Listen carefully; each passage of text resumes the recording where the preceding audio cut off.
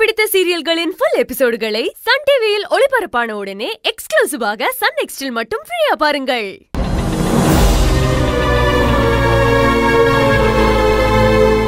இந்தாங்கண்ணா.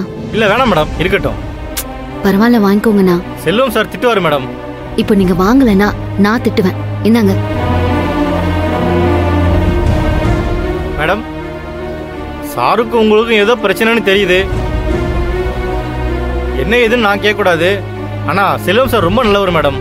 உங்களுக்குள்ள எதுவாக இருந்தாலும் பேசி தீர்த்துக்குங்க மேடம். உங்க வைஃப் கிட்ட நீங்க போய் சொல்வீங்களா ஐயோ சொல்ல மாட்டேன் மேடம். அப்போ உங்க அட்வைஸ சார் கிட்ட போய் சொல்லுங்க.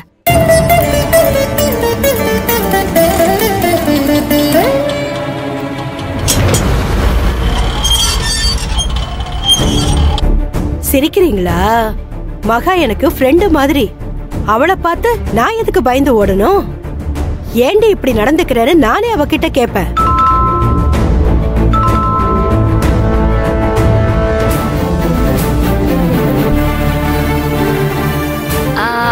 மகாக்காவா இருக்குமோ?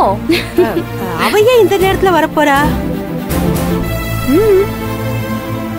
ஏய் போய் யாருன்னு கதவை திறந்து பாருங்க அகிலா போடி. ஆமா அசஞ்சராத போ.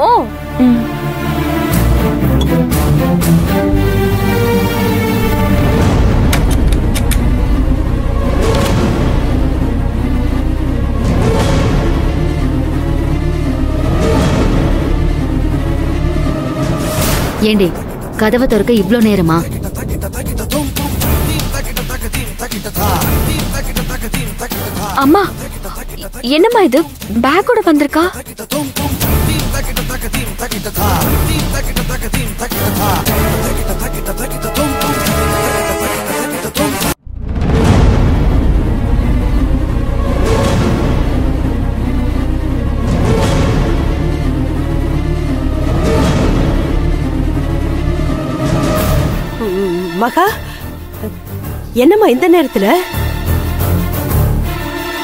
புரியுது மகா இது உன் வீடுதான். நீ எப்ப வேணும்னாலும் வரலாம். ஐயோ மீனாட்சி நான் மறந்தே போயிட்டேன் பாரு. இப்போ மணி ஒன்பது ஆகுது. அந்த சீரியல்ல முக்கியமான கட்டம் போய்கிட்டு இருக்கு.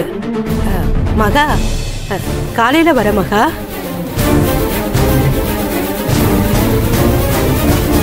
என்ன மகா? நீ மட்டும் வந்திருக்க மாப்பிள்ள வரல?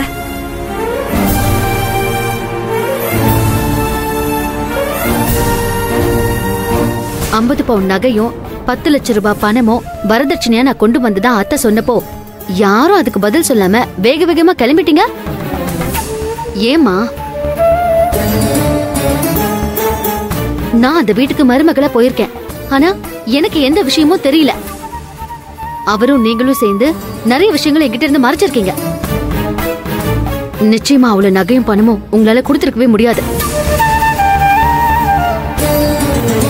முதல்ல இந்த அளவுக்கு பணமும் நகையும் வரதட்சணையா கேட்டதே தப்பு. ரெண்டாவது நீங்க தந்ததும் தப்பு. மூணாவது எனக்கு தெரியாம கொடுத்தது அதை விட பெரிய தப்பு. இப்படி நிறைய தப்பு இருக்கு. முதல்ல அவ்வளவு பணமும் நகையும் எங்க இருந்து உனக்கு கிடைச்சது? பதில் சொல்லுமா?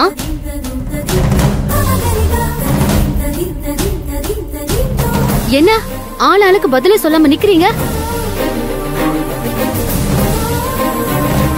பக்கத்து வீட்டு மங்களா ஆண்டிக்கு கூட எல்லா விஷயமும் தெரியுது. இந்த வீட்டு மூத்த பொண்ணுனா எனக்கு எதுவுமே தெரியல. கல்யாணத்தன்னைக்கே நான் கவனிச்சேன். உங்க யாருடைய நடவடிக்கையும் சரியில்லாம தான் இருந்துச்சு. கையில ஒரு சூட்கேஸை வச்சுக்கிட்டு அங்கே இங்க அலைஞ்சிட்டு தான் இருந்தீங்க. கேட்டதுக்கு அப்பாவுடைய மிலிட்டரி ட்ரெஸ் இருக்குன்னு சொன்னீங்க. அப்போ அதுல தான் நகையும் பணமும் இருந்துச்சா? சொல்லுங்க அவ்வளவு பணமும் நகையும் எங்க இருந்து வந்துச்சு? ஏன் அமைதியா இருக்கீங்க? சொல்ல போறீங்களா இல்லையா? அம்மா உன்கிட்ட தான் கேக்குறேன். சொல்லுமா நீங்களாவது சொல்லுங்களேண்டி நான் உங்க அக்கா தானே.